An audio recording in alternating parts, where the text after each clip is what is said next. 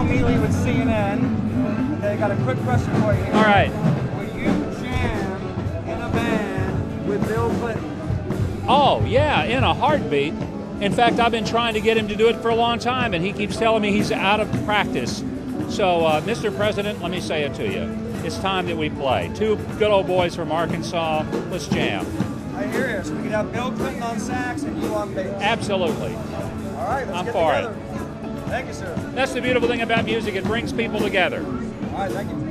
Thank you, sir. Hey, I'm sorry. How you I, doing? I, I,